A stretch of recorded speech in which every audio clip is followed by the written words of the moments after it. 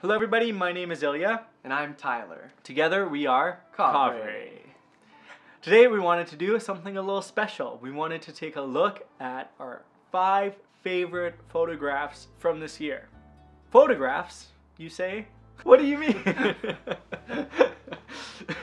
well, we actually do quite a lot of reviews on our website and we take a lot of photographs for them. And just to note too that Tylor is definitely more of the photographer of Kovray, but it's been really nice because he's been teaching me quite a lot too, and this is definitely a process we do together.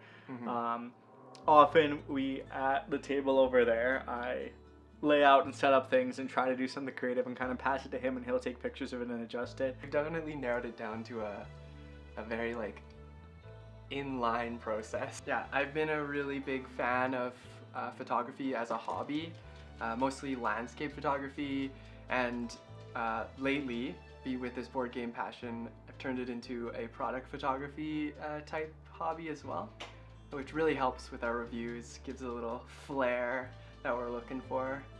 We really like taking pictures because it's so there's so much magic and beauty in games that you just don't see every day. So it's really nice to actually take a closer look at the game, take a look at the art, and try to understand the whole process of the digital design behind it. So it's been really it's been quite an awesome experience this year.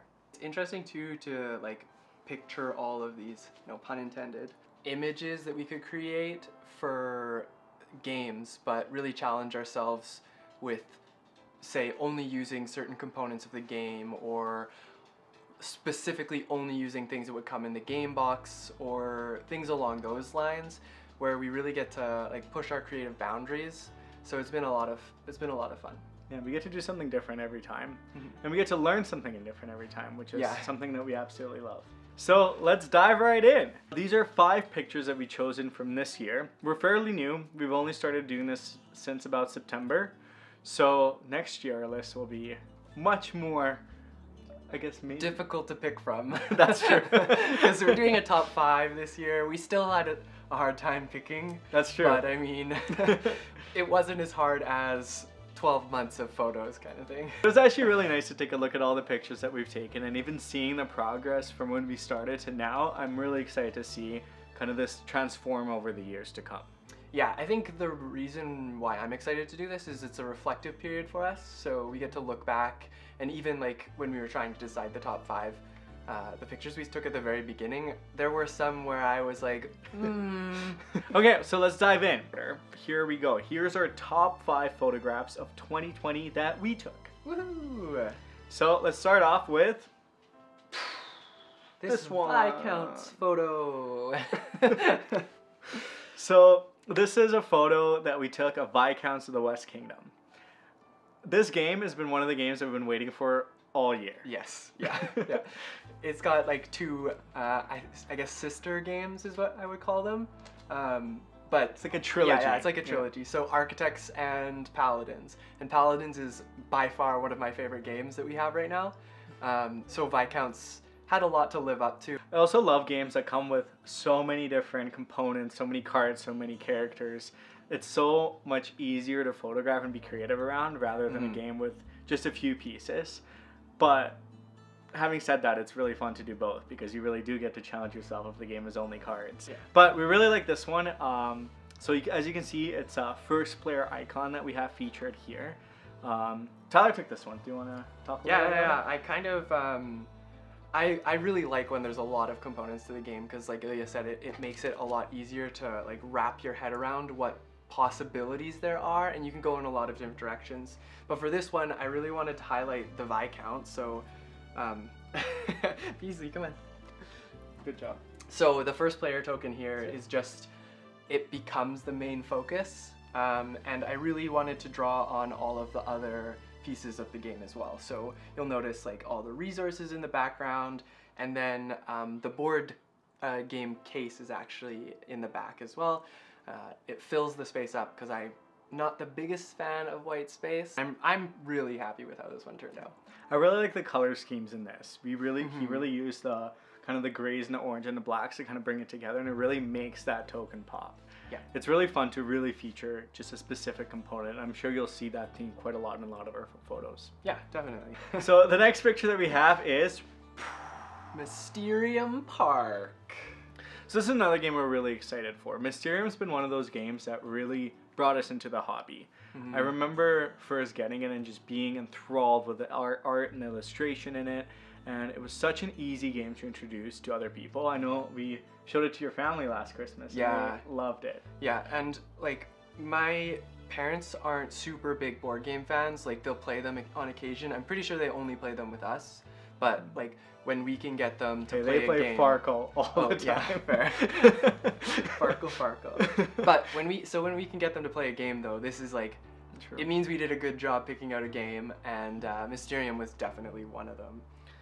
and but this is kind of the standalone sequel to it. Yes, uh, yeah. With Mysterium, it's a bit of a longer game. This is more of a condensed version, and it's more centered around that circus theme rather than a Mm. haunted mansion kind of piece. Yeah, and it's got elements of what reminds me of Codenames, basically. It's Yeah, a little as bit. if you took Mysterium and Codenames and just smashed them together. Um, for a quick like explanation. So this is the card that shows where the specific characters are. And Yes, yeah. The witness. the witness. Yeah, this one was actually one of my first photos that I, or one of the, not one of the first photos I took, but one of the first photos I took that was really like, um, I had We're taken, photographers. I had taken some time to look up a lot of different techniques around product photography, and one of these thing, one of the things that uh, I found very frequently was this idea of diagonal um, placing. So you'll notice that like there are tokens in the front uh, to the right side, and then the box is in the back to the left side. When this card is actually just in the center, um, and then you add a little bit of that blur, focusing on the card, but still not, um, but still having those other elements in there really is, uh, really adds to it, making making the piece pop a little bit more, and then also like no white space, because because white space. I like white space. sometimes it can sometimes it can be a really good thing. I'm I am very guilty of shoving things into pictures when they definitely shouldn't be there. I also really like that it's a picture that really invites you to discover more about the game. You mm-hmm. have this card, it, it sits there. You don't really know what it means, but I want to know what it means.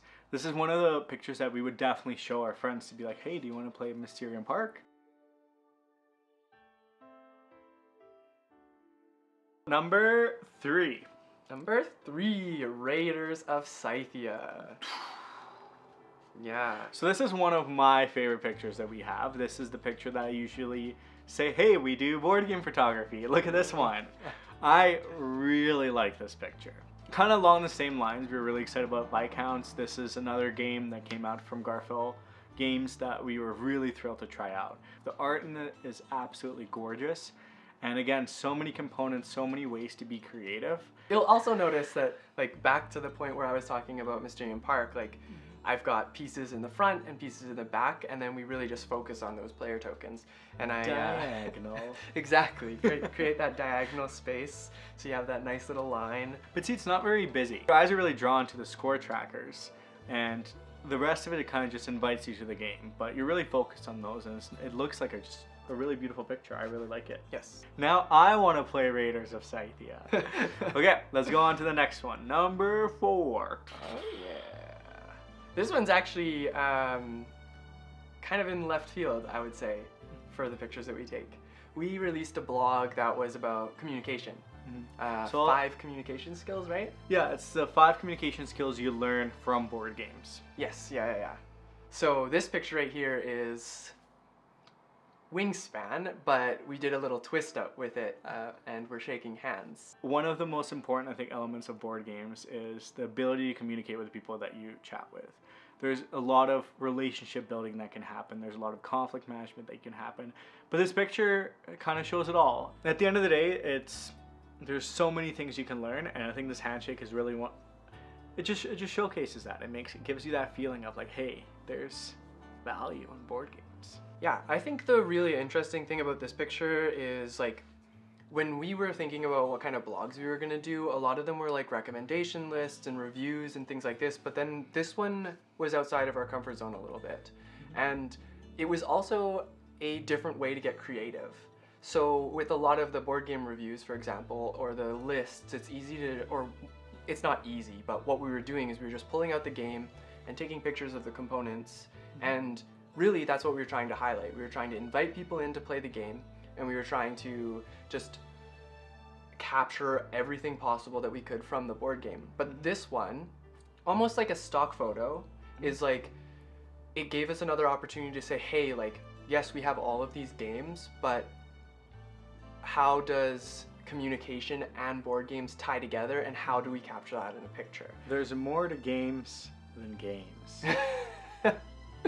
yes. but I think this one was really cool because I was like, hey, um, this sounds like we're gonna take stock photos. So what kind of stock photos can I think of that would be like that? And then immediately my head was like, okay, how can we involve our hands? How can we involve like, um, like talking to each other or things along those lines? Mm-hmm. And as soon as I thought about, or as soon as that happened, I was like, handshake has to be a handshake, and voila! I I'm really happy with how this one turned out. I think it was cool picture. Uh, yeah, I think it was. Uh, it's it's definitely different from all the other ones that we have. Mm-hmm. Yeah. Okay, and now let's do the last one. Last and probably best. yeah. All right. So this is a picture that I actually took, and it's New York Zoo. um, so I think Ty was feeling a little bit sick these days. I'm, I'm pretty sure I was laying in bed like the whole day. So yeah. so it was my responsibility to portray this game. Usually it's a team effort.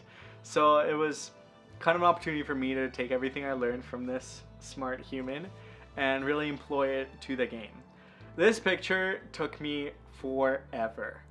Um, I swear, there's probably 200, 200, 200 failed attempts at this picture. Of just this photo. Just, just this, this photo. different angles, different yeah. like, different like blurriness or however you like bokeh. I, I guess. I was really trying to capture.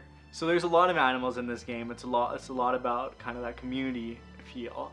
Uh, and I really wanted to capture kind of those two elements, is community and animals. So I wanted to show kind of as much from the game as possible for all the little animeeples in here. And yeah, the angles, the lighting, it took forever. But when this picture happened, I was like, this is it. It's great. It's barely edited, and I love it. Yeah, I'm pretty sure you came into the room and you're like, Tylor, Tylor, Tylor, you have to look at this. Look at this picture. I think I got it. I think I got it. So, but it was uh, it, like it was a good moment for both of us, I think, because I was. I mean, although I wasn't feeling too well, I like Ilya came into the room and I'm like, hey, he's like he's I'm learning. on, and that made me feel good because like I do I do try to take my um well, I do try to take time to like teach Ilya everything about what I know, which like again, I'm not a professional. I don't know everything. I'm definitely learning as we go. Um, but like it's been fun to try and teach him and watch him like grow with the photos as well. So it's really cool. Yeah.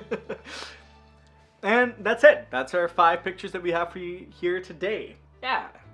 Um, if this is something that you've liked, if you want us to talk about photography more, please let us know in the comments down below. Um, this year is all about discovery. We started this channel in about October of 2020. Mm-hmm. Um, there's a lot for us to learn. There's a lot for us to take a stab at. So if you really like these types of videos, do let us know below. We'll do similar pieces to this. We love to feature and talk about some of the photography things. So let us know below which of the five photos you is your favorite and why and why. Why is important. Yeah. Give us that thumbs up. Subscribe. Uh, you can click the little bell icon to let it to let you know when we post videos, so you can watch them as soon as possible. and if you're more interested in the photos, you can check out our Instagram because we post daily on there, mm-hmm. um, and a lot of the times it's it's the board game. And our website as well. We do a lot of reviews, and you can find a lot of the pictures that we take on there. We also have a product photography page that we keep try to keep try up to, keep date up to as much as possible. Yeah. But it has some of the favorite pictures that we've taken. So let us know what you think. Hashtag social media plug. Anyways, uh, that's it for now. Hope you guys enjoyed, and we'll see you in the next one. Have a great day.